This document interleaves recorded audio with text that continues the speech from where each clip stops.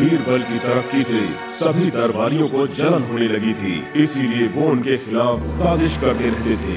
एक बार उन्होंने बादशाह अकबर के साले हुसैन खान की मदद से बीरबल का पत्ता साफ़ करने की सोची। सही कहा ना? बिल्कुल सही।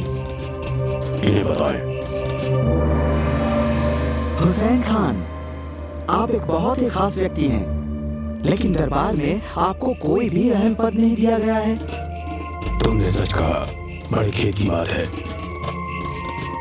आप सही कह रहे हैं।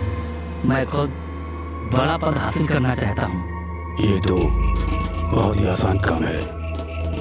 बेगम साहिबा से मिलकर आप उन्हें अपनी मर्ज़ी बताएँ। वो ज़रूर आपकी मदद करेगी। आपने जो रास्ता बताया वो बिल्कुल